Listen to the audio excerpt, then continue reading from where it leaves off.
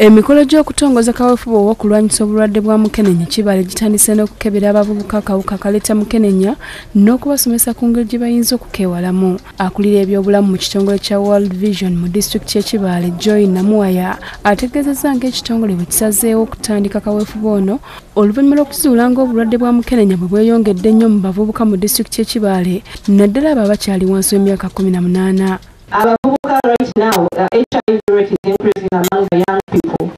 And one of the issues is probably lack of access to knowledge and information about hiv akiikiridde atwala ebyobulamu mu disitulikiti y'ekibale ku mukolo guno bali mu ejjuka edward yenyamidde olw'engeri obulwadde bwa mukerenya.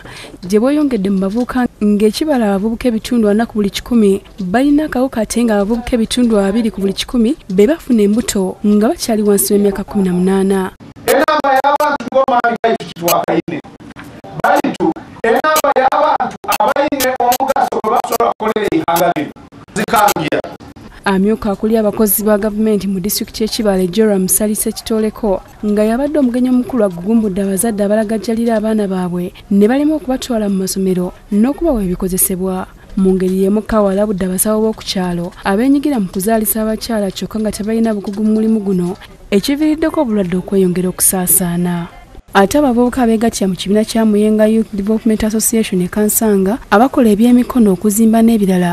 Bakoze bulungi bwansi mu bitundu ebyenjawulo omuli kansanga kitalanga nabutiti n'ebirala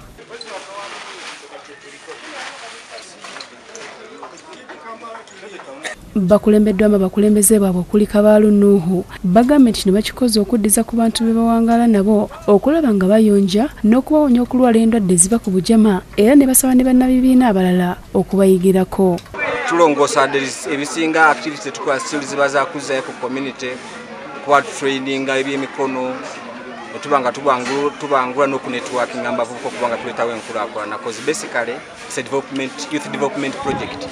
Naye kati ebintu nga bino tulina okudda mu society tubalage obulungi bw'obuyonjo. Naye nga tusaba buli alina obuyambi ajja tuyamba ffe tetuli bannabyabufuzi. Tuliza kimu kuma buyonjo nti guno omulimu gwe gutandikiddwako just kugwongerezaako abantu be bakozemu omulimu guno babebaziza olw'omutima guno era ne babasaba obutakoma okwo mulimu mulungi senga bakomawo ne baba nga balaga abatuuze ekintu mu module eyo.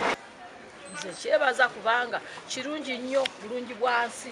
Fenna tulongoosa ntubeera musa kabogoza yakusakidde eggulire lino ku rabukede tv 1